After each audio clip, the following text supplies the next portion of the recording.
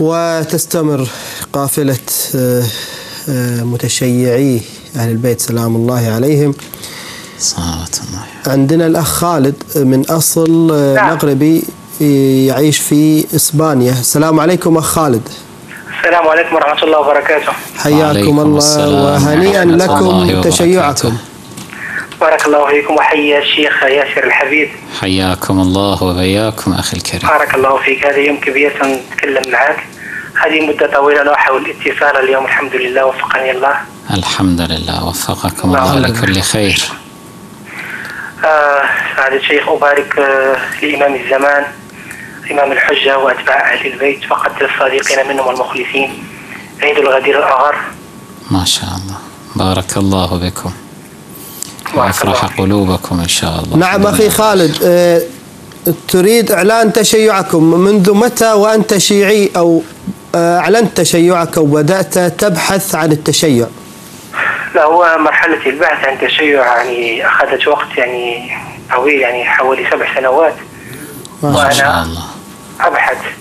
وهذه المدة التي أعلنت فيها تشيعي يعني حوالي أربعة أو خمسة أشهر أعلنت تشيعي.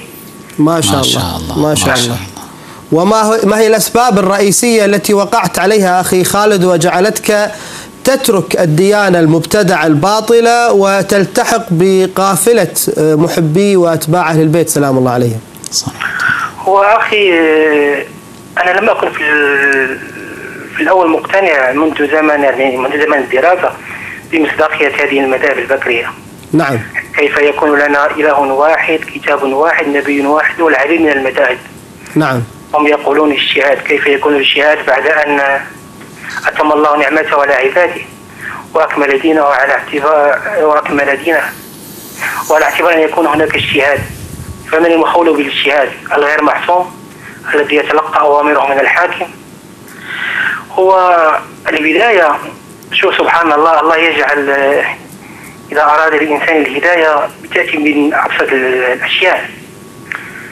آه، هي نقطة الضوء التي أثارت حفيظتي وخروج الإمام الحسين واستشهاده سلام الله. لا. يخفيكم أن المغاربة من أكبر الشعوب المسلمة التي تحتفل بعيد عاشوراء رغم انحرافه هذا له خلفية تاريخية يعني يطول الحديث لكي لا أطيل عليكم. هو في أحد آه، إذا سمح وقتكم. نعم. وفي أحد أحياء عاشوراء وأنا صغير سألت أمي لماذا نحتفل بعاشوراء؟ قالت وهي امرأة أمية. قالت في هذا اليوم قاتل اليهود ابن رسول الله الحسين. هكذا سمعت في المذياع من أحد علماء إلا بعد مرور سنوات وفي الدراسة اكتشفت أن القتلة من قتل الحسين هم ممن نتردى عليهم ونفتخر بتاريخهم وأمجادهم. يعني فبدأت أتساءل لماذا لماذا يعني ينكر علماء آه، البكري هذا الحدث؟ يحاولون إخفاءه فقلت أنا في الأمر سر فبدأت البحث في السيرة النبي النبوية وسيرة أهل البيت. فاكتشفت أن مقتل الحسين فقط هو تلك الشجرة التي تخفي الغابة. صحيح. يعني لا أخفيكم أخذت وقتي يعني حوالي سبع سنوات من المدة.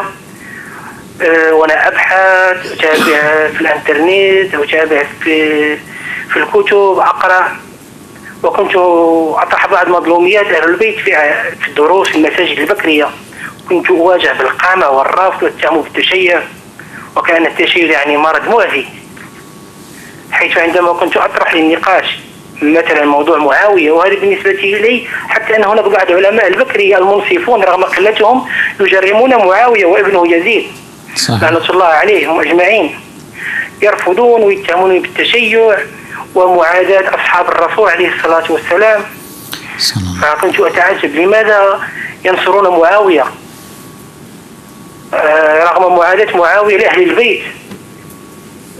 نعم. لكن اكتشفت بعد ذلك أن هذه المذاهب البكرية ليست قائمة على عبادة الله عز وجل وطاعة رسوله بل هي قائمة على عبادة مجموعة من الأصنام صنم معاوية وعثمان وعمر وابن قحافة. لعنة الله عليهم جميعا. لعنة الله فإذا سقط صنم مثلا إذا سقط صنم معاوية سيتبعه صنم عثمان ثم عمر ثم صنم قحافة. صحيح. لذلك هم يبذلون قصارى جهدهم لتبقى هذه الأصنام واقفة ليبقى مذهبهم واقف.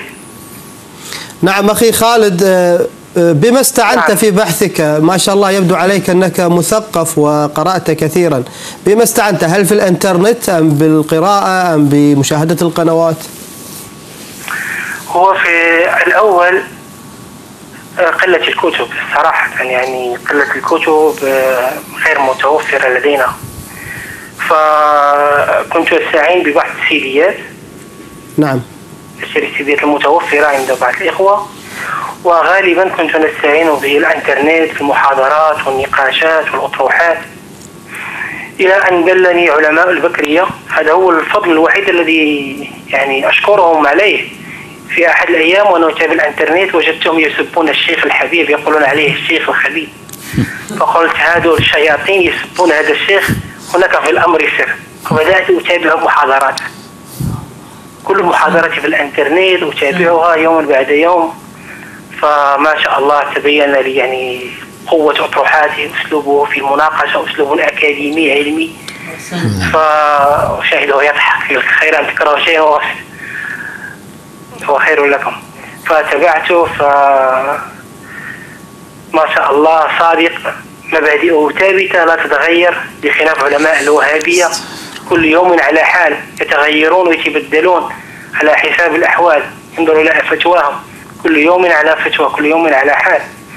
فتتبعته وفي تتبعي كان هناك تغيير في فكرة كانت لدي حيث كنت أظن أن البراءة من قتلة أهل البيت والإقرار بمظلوميتهم.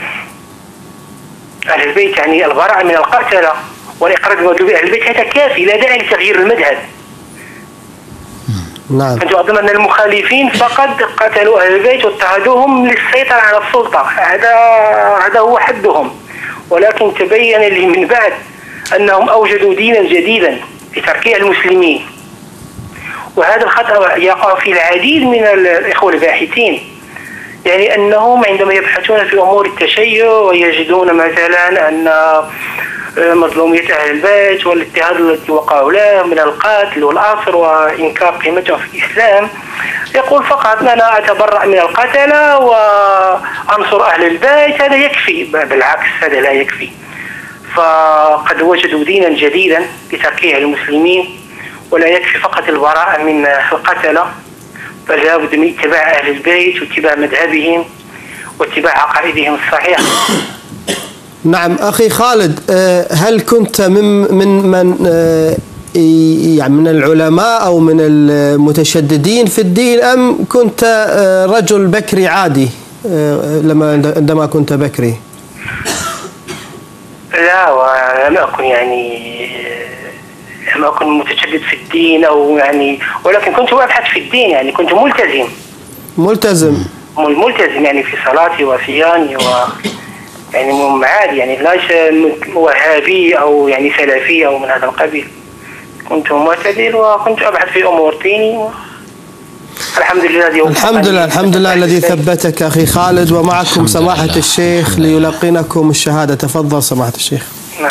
أولا أنا معتز كثيرا بما تفضلت به أخانا الكريم وأرى فيك النضج بحمد الله تعالى والثقافة الواسعة والاستنارة العقلية وكل ذلك بحمد الله تعالى قادك إلى هذا الهدى.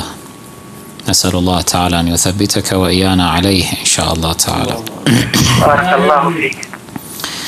إذا كنت مستعدا فقل على بركة الله تعالى أشهد أن لا إله إلا الله وحده لا شريك له. أشهد أن لا إله إلا الله وحده لا شريك له. وأنه لا شبيه له ولا نظير. وأنه لا شبيه له ولا نظير. جل جلاله. جل جلاله. أشهد أن محمدا رسول الله أشهد أن محمد رسول الله وأنه خاتم الأنبياء والمرسلين. وأنه خاتم الأنبياء والمرسلين. وسيد الخلق أجمعين. وسيد الخلق أجمعين. ومبرأ من كل عيب وشين. ومبرأ من كل عيب وشين. صلى الله عليه وآله. صلى الله عليه وآله. أشهد أن أمير المؤمنين علي ولي الله. أشهد أن الأمير المؤمنين علي ولي الله. أشهد أن فاطمة الزهراء. أشهد أن فاطمة الزهراء. وأبناءها المعصومين حجج الله. وأبناؤها المعصومين حجج الله. صلوات الله عليهم. صلوات الله عليهم. أبرأ إلى الله. أبرأ إلى الله. من أبي بكر وعمر وعثمان. من أبي بكر وعمر وعثمان. وعائشة وحفصة. وعائشة وحفصة. وسائر أعداء أهل بيت رسول الله. وسائر أعداء أهل بيت رسول الله. أشهد أن أبا بكر وعمر وعثمان. أشهد أن أبا بك- أن أبا بكر وعمر وعثمان. وعائشة وحفصة. وعائشة وحفصة في النار. في النار. صلوا على محمد وآله الأطهار. اللهم صل على محمد وآل محمد وعجل فرجهم والعن أعداء. شكرا لله حمدا لله. بارك الله فيك. نضر الله وجهك وبعثك في زمرة محمد وآله عليهم الصلاة الله والسلام وأسأله تعالى أن يدخلك الجنة بشفاعتهم وأن تكون هنالك من, من جيرانهم إن شاء الله. أسألك الدعاء يا شيخ. بارك إن الله شاء فيك. الله أدعو لك. سجل اسمك